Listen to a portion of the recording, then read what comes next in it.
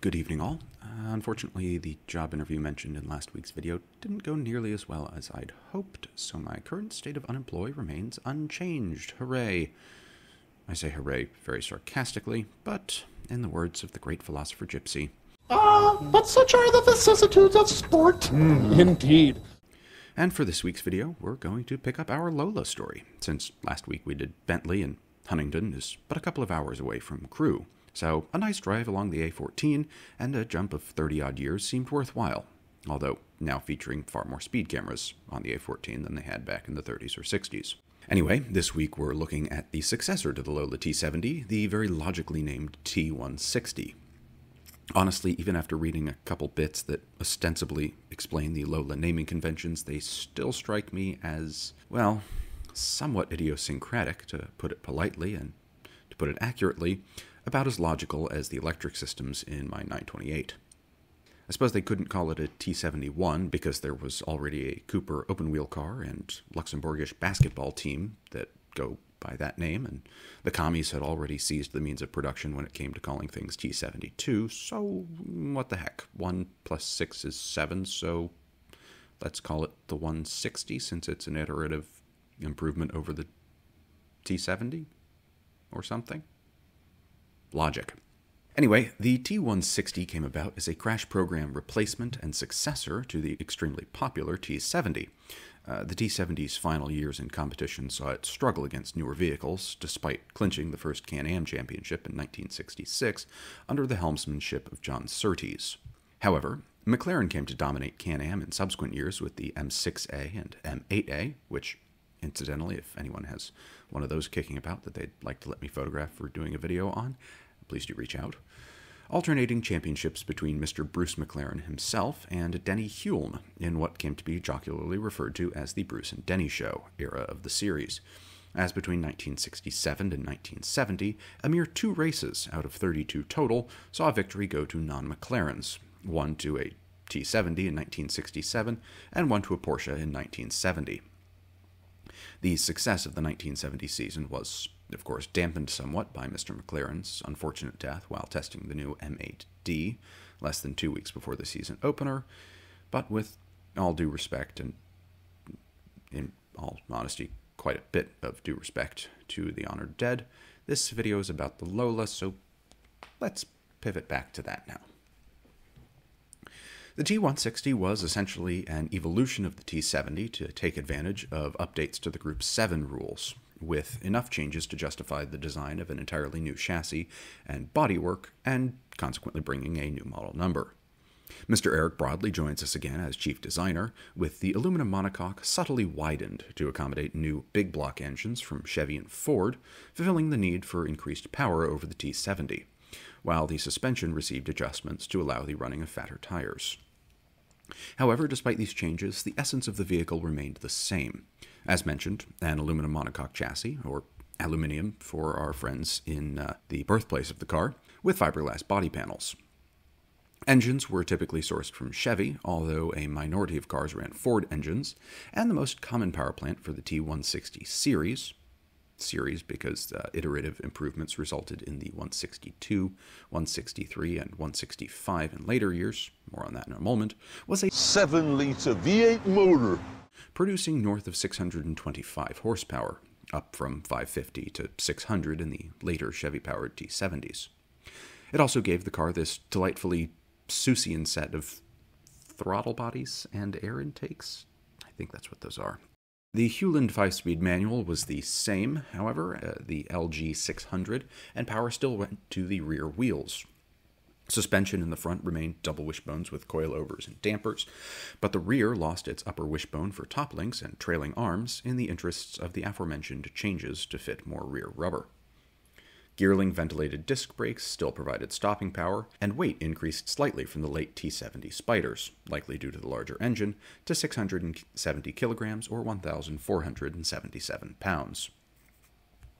Ready for the start of the 1968 Can Am season, three cars were entered in the competition, and, well, they performed not great, really, despite having Dan Gurney and Sam Posey as two of the leading drivers. They really just weren't up to the task against the McLarens, which had had a longer development cycle.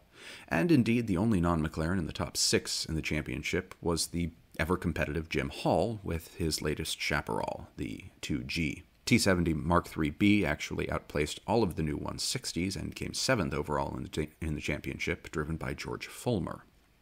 Although they had better results, including a couple of wins in the U.S. Road Racing Championship that year, which is the series in which it actually made its debut, that series folded after the 1968 edition, so Can Am remained the primary focus.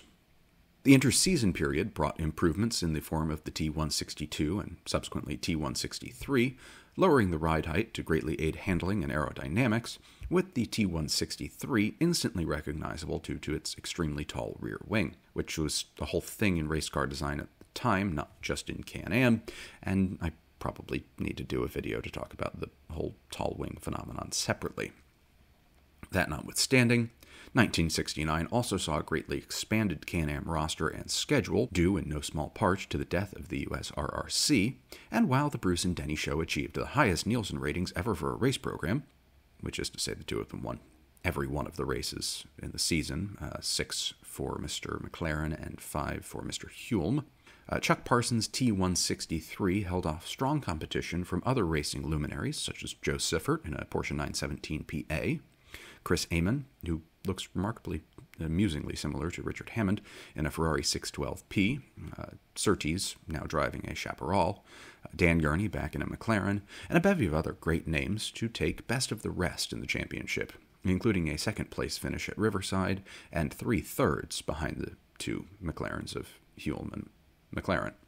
The end of the season also saw the banning of the big wings in the series and necessitated the final evolution of the T 160, dubbed the T 165, and the variant that's been depicted in most of the photos used for this video. Anyway, this revision, while another significant improvement to the car, remained insufficient to stand up to McLaren's might, and this year the best result for a Lola went to Dave Causey, whose D-winged T163 came fourth overall, behind, you guessed it, three McLarens.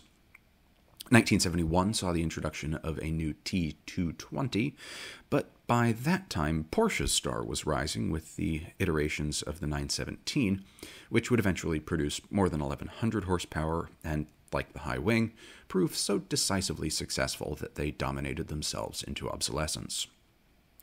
In total, around 25 T160 series cars were built, with a number of earlier cars upgraded to T165 spec.